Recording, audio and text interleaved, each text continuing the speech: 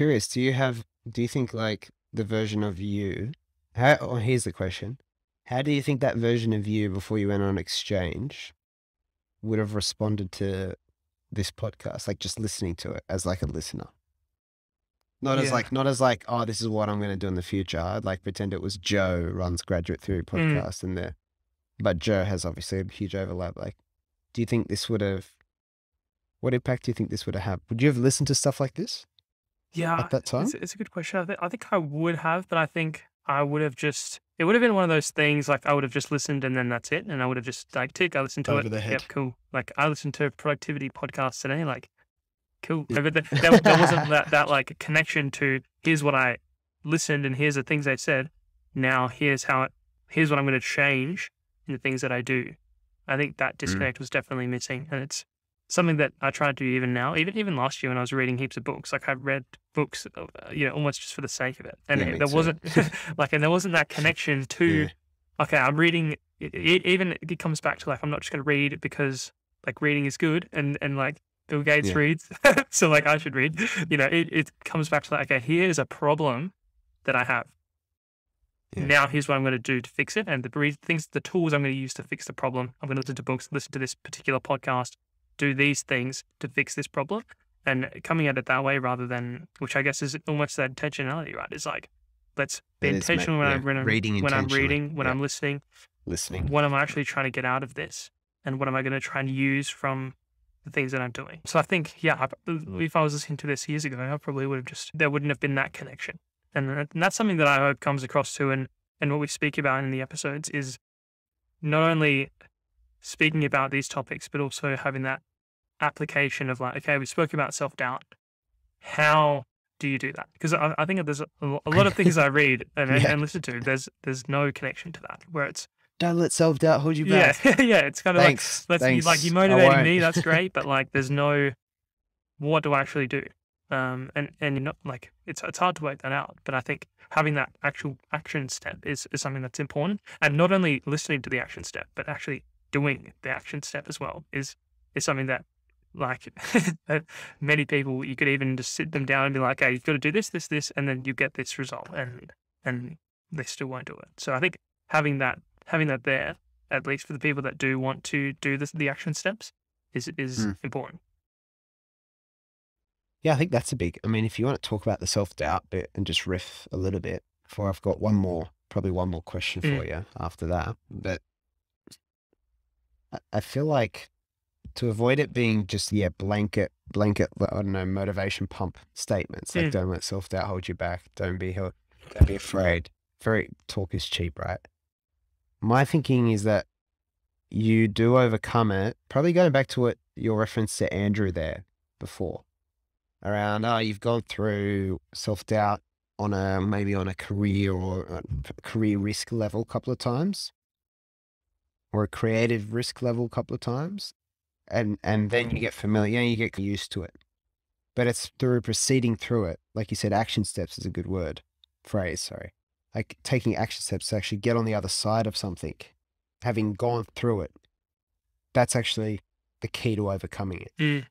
in in my mind like you're taking the process. Like your best example is i'm assuming stuff to do with graduate theory and it's probably things like i would assume like releasing it for the first time maybe because you're thinking oh is this weird to do? Like Mm. do people want to hear me interviewing people? Those things are very common. Mm. maybe reaching out to guests as well because there's a lot of like oh like there's a lot of potential for i don't know rejection or embarrassment and, and things like that. Am i bothering this person? Things like that. So maybe i don't know reflecting on that you can comment but to me those are the things if people are listening wanting to know how do i overcome that like james seems to be certainly overcoming it because because you've been there to me I, I i would say it's those things but i don't know if you have any comments or anything else around that Yeah, yeah. I think the the self doubt thing and something that I'm. I guess, like you said, there's been instances where I've overcome that, maybe successfully. We'll, we'll find out. Yeah. But I think, like, to take it back to the action steps there, where it's okay. Like, the first thing is to notice that what you're experiencing. So, like, notice that you are having that self doubt is is the first step.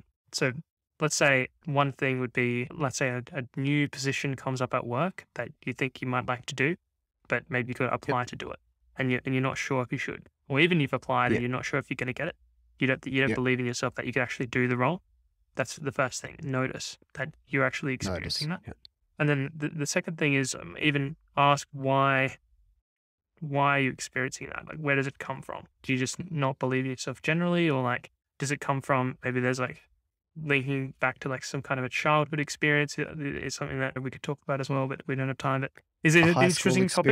Yeah, or whether yeah, like a high school experience or whatever it is, why are you thinking that? Perhaps you can think of reasons why too. And then and then just trying to rebuild your confidence a little bit and say, okay, doing Yeah. this is going to be good for these reasons. And and even thinking about yeah, I, th- I think for, for myself, I guess if I take it back to starting the podcast, it was more of like well, I've actually no Andrew Andrew was saying this. He was saying chances are if you've applied and you've gone that far, you're capable to do the thing. So like you wouldn't have even like thought about doing it if you didn't if you weren't able to. So I think I think that's big. And I think it's uh, really trying to develop that, like recognize that feeling and just sort of sinking into it. Even that's something that Darren would say. It's like just sit there with it, feel where it is in your body, sit down, like close your eyes, and just experience as much as much of it as you can, and then just let it, let it like do its thing. Let yourself It just to let be it out. expressed. Yeah. That's what he said. Because yeah, I, I, I found in my, in my experience like there's been times where that's happened where things have come up and I've I've put myself forward and then even during that process I've been like, oh like I can't do this like they won't pick me because like I'm not good enough or whatever it is.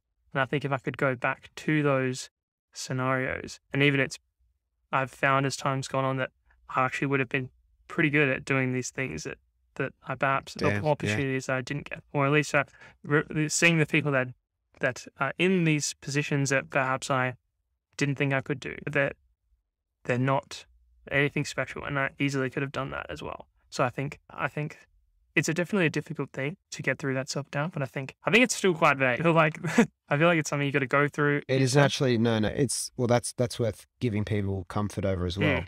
It is vague because it's very individual. Mm. It's very individual specific. Any high level concept, in my opinion, is really hard to just talk through. Mm.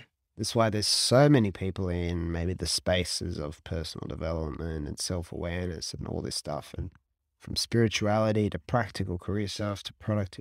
There's so much in there, and it's good. You talked about yourself being uh, whatever before you went on exchange, and this might have just gone over your head.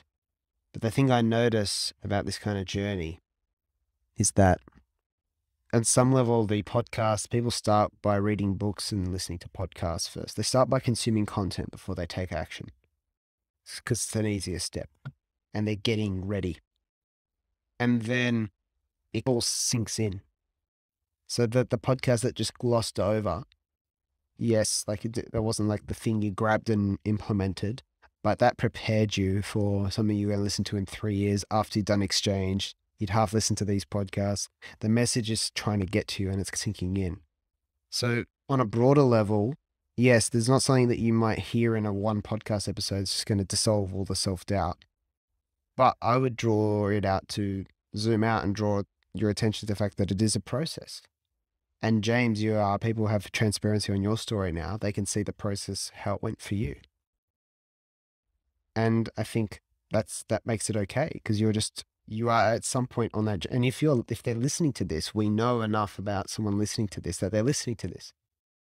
So that means that they are they are somewhere on that that journey. To, they might just be listening because graduate theory, great podcast, or they might be facing this and they might be part of the early career and natural. There's everyone's got self doubt. It's very natural. There's so much comparison. There's so many Mm.